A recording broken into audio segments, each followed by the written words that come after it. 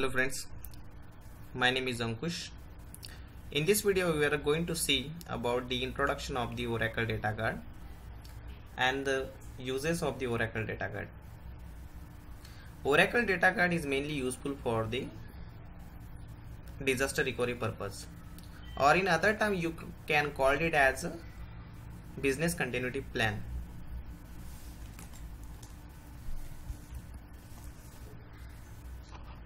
let me take one of the examples so that you can see you can understand in a uh, better way. Let's say there is one database as a test db which is available in india. And because of some uncertain situation my database is getting down. Or maybe it is uh, we can call it as earthquake or flood or anything. So because of that only what is happening my database got crashed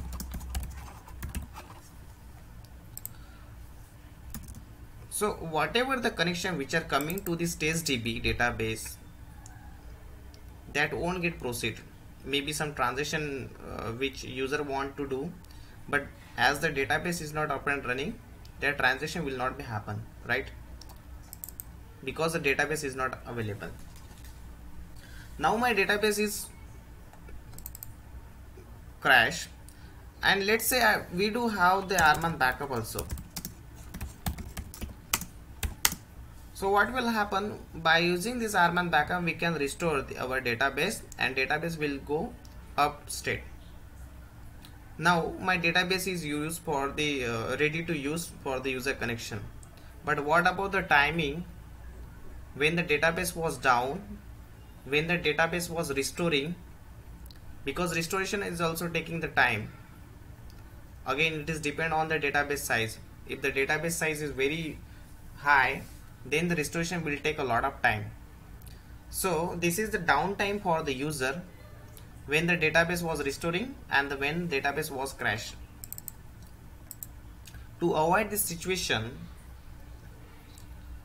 because we are the DBA which are whole and sole responsible for database data availability and data security right?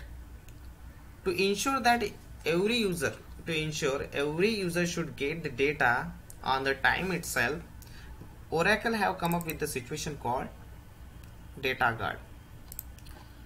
So let me take this slide for you. Here you can see there are the two side. The first one is the primary side and second one is a standby side. Okay. So what is happening whatever the connection which are coming to the primary database. Now my first database is up and running. Primary side database is up and running. Okay?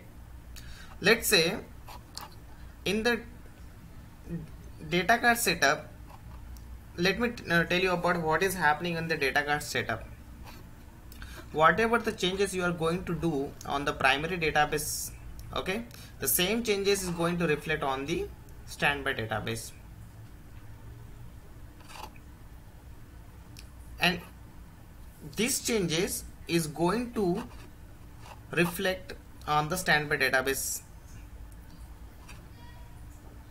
If my primary database is getting down still I have the standby database up and running where the user connection will be proceed.